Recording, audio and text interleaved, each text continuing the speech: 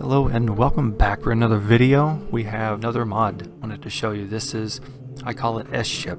What is S-Ship?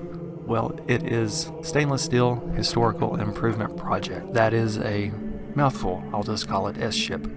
This is stainless steel.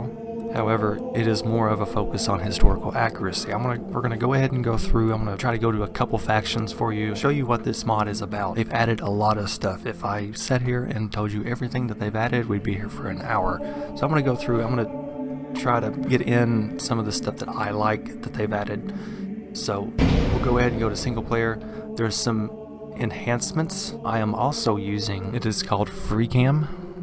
You can get this on ModDB.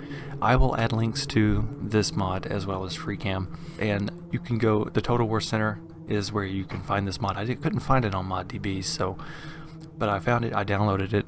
And FreeCam enables, it's mostly good for battles. It, and especially with these enhancements, it makes this mod absolutely beautiful and with this historical accuracy that is added, there's more immersion.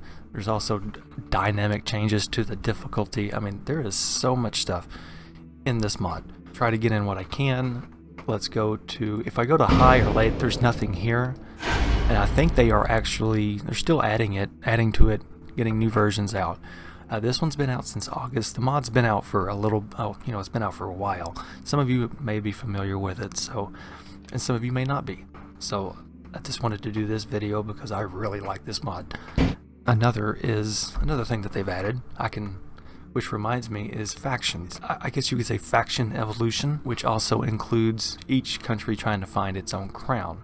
You have certain objectives that you have for that. There's also historical events that is added, and as well as army related mechanisms. Focus on a general. So it adds so much stuff. So I'm just going to go ahead and try France. We're going to go in. I'm going to see what this is like. We'll do a battle. Okay, now we have, this is version .098. Meant to be a difficult mod. Little money, aggressive AI factions, high unrest in the settlements, problems with the loyalty of generals, bad reputation if expanded too quickly. I tend to have, sometimes I, I don't catch myself, and I tend to do that. I try to expand quickly, especially in this game and many other special challenges for the player. At the higher campaign difficulties there are new mechanics that may be difficult to understand and use efficiently without reading explanations.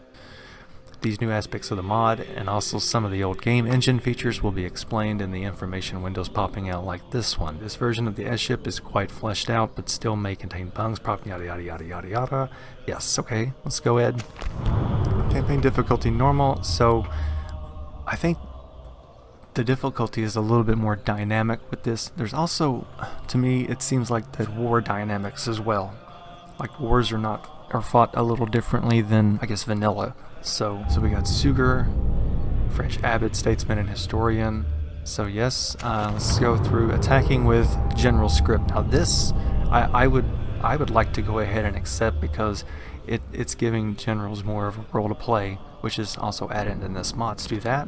And I think that's pretty much it. I think there's going to be more stuff throughout the turns. So let's go ahead and end the turn. I just want to... And as you can see, I, I can tell the difference in the, in the campaign map. Really. It's, it seems like it's a little... We have a proposition better. for you. I think I trade. Okay, let's go ahead and do that. And here you have the Rise of the Knights. Latin Europe. Warriors of AD 1000 enjoyed no hereditary status of Old English knight servant, uh, but an important and growing role as horseman. So game strategy, the unit of knights are available to be recruited from the landowner's buildings. Consider the following issues and consequences. The building is available in both castles and cities, meaning that you'll have heavy units, even when you're short of castles. Establishing the building is quite fast as it reflects granting the land to the knights as the process and the process of their settling down, not building something physical. The refill of the recruitment pools of the knights units is very slow, but they are recruiting fast. One turn. Ooh, they're one turn? Wow. This means you can keep units unrecruited until there is a pressing need. Ah, now that is interesting to have. Be economical with the knights in battles though, as the losses do count in many instances. You will have to wait long for, for the refill of the pools, and there might be another battle need for the heavy troops. Mind also that disbanding units or disbanding does not refill the pools, but it saves you money. So many times you'll disband, especially depleting units. Just now it changes a lot of things. So as you can see, we have Spear Militia. So I, I want to show a, a battle here at some point. Un order But let's do, I'm going to do one more intern. And also each, I guess each faction does have their own unique buildings. And I think there's some of the conditions to get your crown, I think, is also depending on your getting your buildings. So, oh, here we go, diplomacy guide. So now diplomacy is also changed. There are some fundamental rules dealing with the factions. Your reputation will determine how you are treated by others. It's the most important factor in your foreign policy. Uh, your reputation raises if you release prisoners, assist your allies in battle, take part in crusades and jihads, especially if conquering the targets, big but build big cathedrals, mosques, big charity centers. Your reputation decreases if you exterminate or sack cities, execute prisoners, backstab an ally, start the war first, cancel treaties. If you are at war and relations fall very fall below very poor, your enemy will not want peace, no matter what. This happens usually right after conquering a settlement or starting a war. By being chivalrous, releasing prisoners, staying in your territory, stay in your lane, I guess, the relations will normalize and peace will be possible. For Catholic factions, good relations with the Pope are essential so that you will be able to call crusades. So you could do this in vanilla, I remember, but I, I guess it's more of a dynamic. It, it adds a little bit more to it. Makes it more I guess you could say choices matter or something like that. Um, soldiers move. So, soldiers serve for money. Oh, if your treasury runs empty, to sell swords will the sell swords will abandon you. So I guess the mercenaries will just leave. I'm sure throughout the turns it's going to show some more stuff. Oh, here we go. The importance of financial reserves. The most important. I mean, I'm, I do not even know how much money I got. I got Okay, we got like 13k. The most important advice for the players of S-Ship is always keep a few thousand florins in your treasury as a reserve. Oh, that's interesting. Money may be needed. Okay, so before I go on, I know the shell, and you can also do the money cheat. That's also a thing. I, I usually do not do that a lot. Sometimes I do, just to have some fun. I see to hire mercenaries instantly when you're unexpectedly and suddenly attacked by rebels or another faction. This can save you from losing an important city. You may be offered a marriage or have the opportunity to adopt a new general. Either will cost you a thousand florins. You may be offered a guild, normal level for 2000 or the master level for 5000. Perhaps this is the number you should target. That's an interesting question. An interactive event may occur. Oh, that might cost you or something. Pirates may, be, may threaten to attack you unless you pay them 5,000. Some ancillaries can be acquired only if there is significant surplus in your treasury. So you can't go on and just try to, I guess, bully other countries or they will attack you. Outbreak of plague will close all trade routes to and from a settlement, crippling your income. Oh my god, that's crazy. So this adds a crap load more dynamic dynamics than I thought. Wow, this would strike? this would be a really good let's play to do. I want to try to start as another faction and kind of see how different that is. All right, let's start us an another campaign here. Uh, I did France. Let's see what Kingdom of Denmark. That'd be cool. Let's start. Okay, so we got the same thing here. Uh, the campaign. Choose your way. At the at the beginning, Denmark is financially a weak faction. You may struggle to expand and even to survive. To assist the player, there is a script that adds some money, various amounts, until the faction is big enough. You may now accept this support or decline and heroically try to survive without gifts. Well, that is interesting to do with the weaker factions. Let's see, Denmark reforms are not fully implemented yet. The faction plays similar as it was in 9.2 or version 9.7, with one exception. Uh, in the first decades, you may be supported financially by your people, if you have chosen so. Okay? Attack the General script. Okay, now this is a little different. Oh, uh-oh, whoa, whoa, what we got here? Okay, I guess I gotta go take Riga. Okay. Okay. Uh, yes, I have Okay, spheres of influence. This is uh, taking settlements will usually make your rivals angry and negatively affect your reputation. However, there are certain provinces that are perceived to be yours by default. Uh, be aware that your conquests have political ramifications as well. To this end, it is wise to ally yourself with factions that do not share any claim to the same ancestral lands. Let's go let's go with this for a minute. Let's I'm kind of interested. This has piqued my interest here, and I can't build any archers until I get a bower. So, in the turn. Lurking in the trees. Okay, so we have the Rise of Knights again. And then new mission. Take what? Have to take this. We could get some mercenaries. Some hunters. Why not? Is that gonna hurt me? Oh my god, yes. Your will shall be Maybe, obeyed. maybe we shouldn't have done My that. lord. We're still gonna get it. This takes 19 turns? Wow. Construction, 19 turns. That is crazy. will make so I guess it does. you. I guess it's probably because I mean we're just kind of weak. I would I would assume. Let's go We ahead shall and not relent. move ever. down and take this. I guess. We must. Bride presented, of course. Uh, diplomacy. This we've seen this in the last one. A soldier serve for money. We saw that one. Money from the nobles.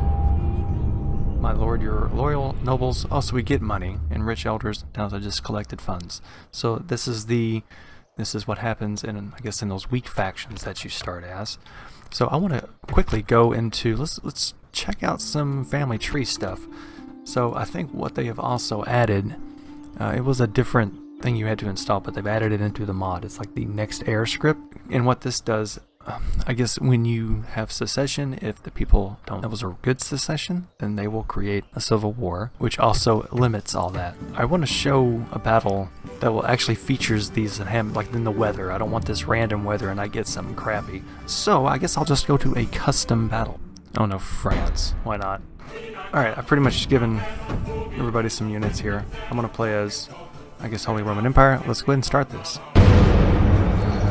enhancements. Now I have free cam. You can't use the middle mouse button with free cam. Oh wait, it's not on. Now it is on. So you can hit middle mouse button because that's a zoom. As you can hear the pop in the sound, so we won't be doing that. But we can actually, if you want to go, you can also go use R and F. I have my controls a little different. You had to just set it to what you want. It Adds more flexibility, and you can do all kinds of stuff with it. This really seems like it remasters Medieval 2. I mean, look at this. This is just ridiculous. I think these effects, because what it does is add large address awareness, which pretty much forces the game to take some kind of steroid, like forces it to use 4 gigabytes of memory, and and you can also use this with other mods. This in with Stainless Steel, and wow, really cool. Now, as you can see, it's nice and smooth, and so that's what this enhancement also does, and just really makes everything better. So let's go ahead and get our unit set up.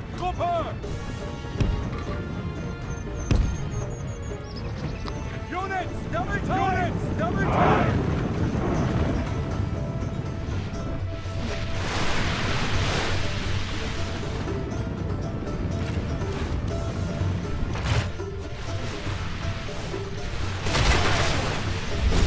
Wow, this looks really cool. And I do have the graphics turned all the way up, but it really, uh, this little plug-in really, I can tell the difference. There's that calf. Knights! Units, number time! Let's get these guys off skirmish mode.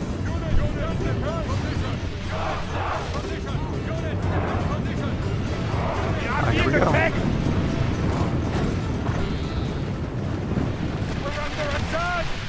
Archers! Heavy infantry! We are being attacked! Advance! Charge! We are being attacked! Charge!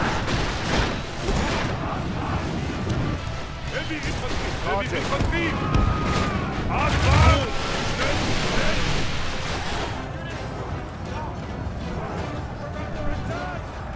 Yeah, looks really good. It's not it's not vanilla medieval 2, I can tell you that.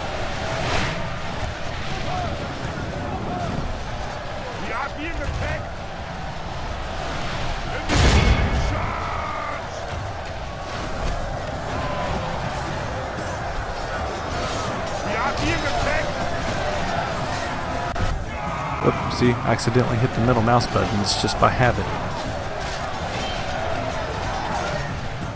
Uh, where's that calf? Is that my calf? Nope, my calf's gone. Oh, we got...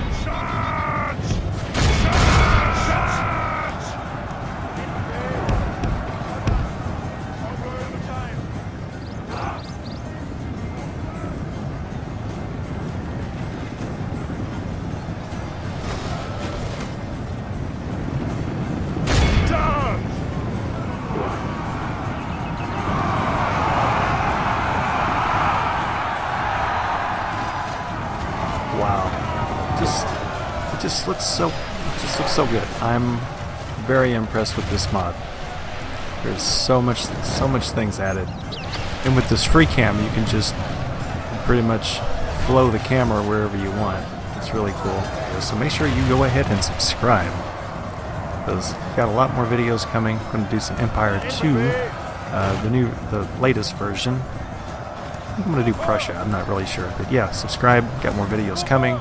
You don't want to miss it. And I think this is pretty much a good battle. Let's go ahead. I'm not doing a campaign, so let's just go ahead and get out of this. Well, that has been Stainless Steel Historical Improvement Project 0.98 or S-Ship.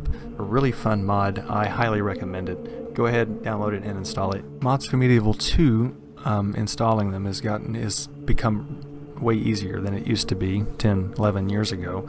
I remember playing stainless steel back then, and uh, a lot more intricate to install them. But now it's just now it's become way easier. If you need help on installing it, uh, let me know. If you need any help with FreeCam, let me know, and I'll uh, help as I can. So I'm going to go ahead and end the video here. Uh, remember to subscribe and share the video and like. Hit that like button. It helps the channel. And we will see you again next time.